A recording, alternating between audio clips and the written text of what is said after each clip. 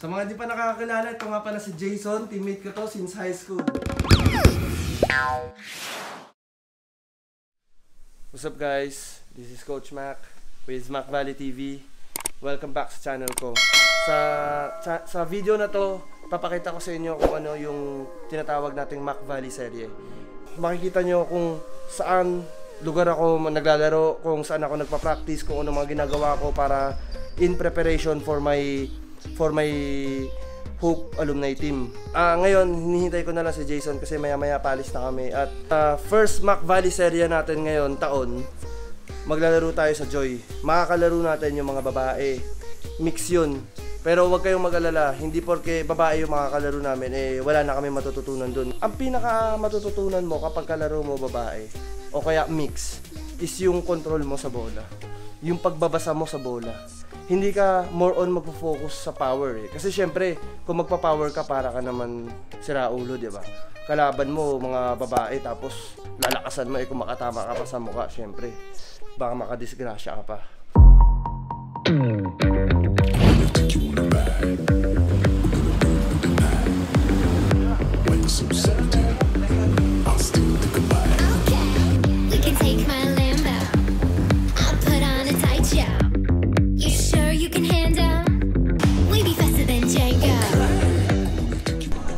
Ah, nandito na tayo ngayon sa court, sa Joy.